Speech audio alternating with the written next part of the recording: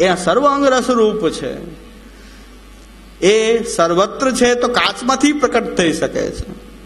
એક તમે કાચ માનો છો ત્યાં સુધી ભગવાન અંદર છે તો કાચમાં ભગવાન નથી પણ જો એ સ્તંભમાંથી, એ ભગવાનની આકૃતિ નથી, એવા સ્તંભમાંથી જો પ્રકટ થઈ જતો હોય સંભક પ્રસૂતિ નરહરી નરસિંહો ભીમ વિક્રમા એ ભગવાન જો યા પ્રકટ થઈ શકતો હોય, તો પછી કાચમાં જો કાચ છે ને કાચ ન માનીને ભગવદ રૂપ જ જો માનવામાં આવે, તો ભગવાન એ પણ ભગવદ રૂપ થઈ જાય. એમાંથી પણ પ્રભુ પ્રકટ થાય.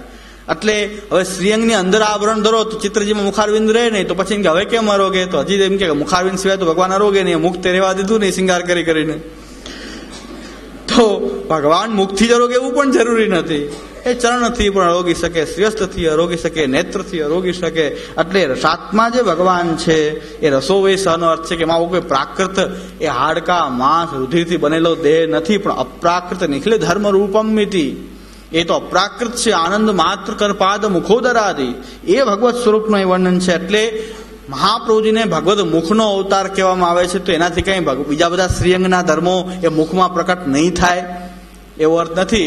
એ બધા જ ધર્મો એમાં પણ પ્રકટ થઈ શકે છે. એ જ શેરરાયજી અહીં કહે છે કે રસોવય સહ છે. એટલે તદ હાસ્ય રૂપત, રૂપત્વાદ એતેપી તથા. ભગવાન ભગવદ રૂપ જ થઈ ગયું કૃષ્ણનું મુખ. અને કૃષ્ણમાં કોઈ ભેદ હોઈ શકે નહીં. એ હાસ્યનું રૂપ છે, મુખનું રૂપ છે. એટલે એ કૃષ્ણ રૂપ જ છે. એટલે ભગવત ભાવ પણ છે અને સ્વામીની ભાવ પણ છે.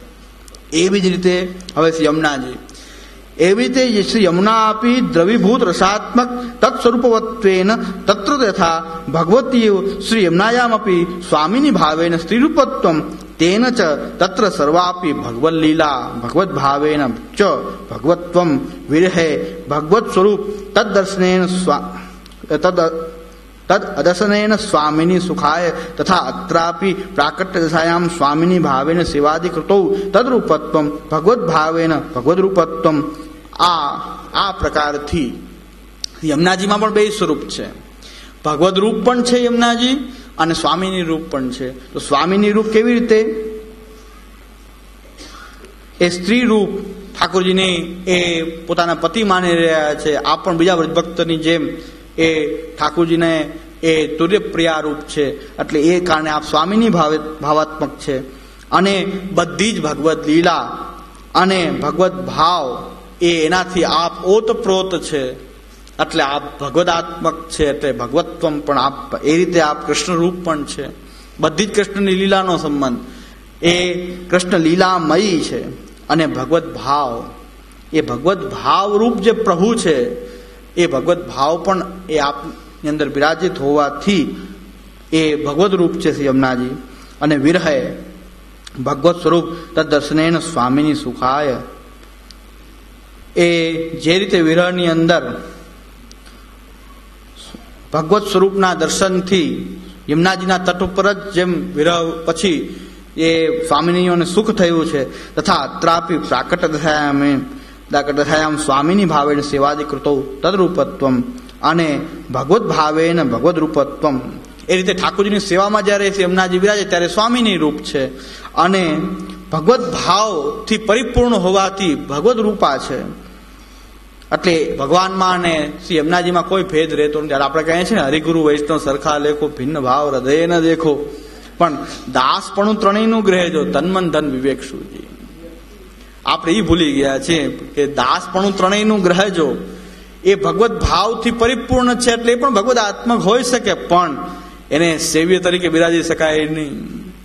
કોઈ પણ દામોદર અસાનીજીની સેવા થઈ શકે નહીં. પણ દાસપણું ત્રણેયનું ગ્રહેજો તન્મન ધન વિવેક શું છે મન ધનનો વિવેક રાખીને જ્યાં જેટલો રાખી શકાય એટલો જ રાખી શકાય. શ્રી મહાપ્રભુજીના બેઠકજીમાં ગમે હો તમે મહાપ્રભુજીને, એ કૃષ્ણ રૂપ તમે માનતા હો કે તમે એનું ધ્યાન કરતા હો, પણ બેઠકજીમાં જઈને શ્રી મહાપ્રભુજીને આચાર્ય મર્યાદાથી જ સેવન કરી શકાય. કારણ કે તન્મન ધન વિવેક શું છે હરિગુરુ વૈષ્ણવ સરખા લેખ કઈ વાંધો નથી, સરખા લેખો, પણ કંઈક વિવેક તો હોઈ શકે એનો પણ, કે કેવી રીતે સરખા છે? કે ભગવદ ભાવથી પરિપૂર્ણ હોય, ત્યારે એ ભગવદાત્મક છે. એ ભગવદ રૂપ છે. કારણ કે ભગવદ ભાવ છે, અન્ય સ્મૃતિ છે જ નહીં. અન્ય ભાવની કોઈ સ્મૃતિ નથી, ત્યારે એવી અવસ્થામાં જે છે, એવા કોઈ એ ગુરુ હોય, કે કોઈ વૈષ્ણવ હોય, કે જેને ભગવત ભગવાન સિવાય પ્રપંચની કોઈ સ્મૃતિ જ નથી. તો એ સમયમાં એ ભગવત ભાવરૂપ છે ભગવદાત્મક છે, પણ એ તો એને સેવ્ય તરીકે બિરાજી શકાશે નહીં. એને એની એ ભગવદ્ગીની સેવા નહીં કરી શકાય, એનો સત્સંગ કરી શકાય. એની સત્સંગ કરી શકો, એની સામે તમે કૃષ્ણાશ્રયનું પાઠ કરી શકો, પણ એને તમે બિરાજાવીને ભોગ ધરીને એની સેવા ન કરી શકો, એના ચિત્રની કે એના વસ્ત્રની કે તમે સેવા ન કરી શકો, ત્યાં તો કૃષ્ણ સેવ્ય તન્મન ધન વિવેક શુજી.